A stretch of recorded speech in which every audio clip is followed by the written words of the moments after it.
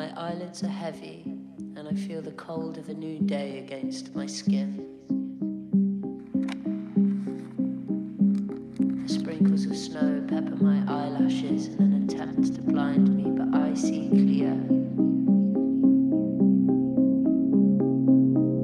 Anxiously awaiting to rush the dry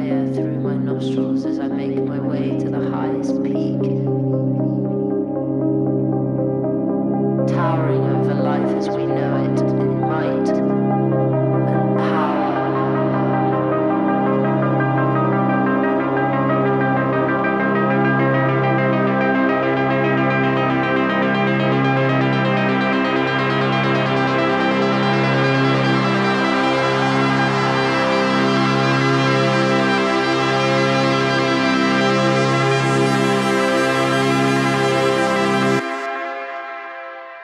It is in this scene where I can fly in peace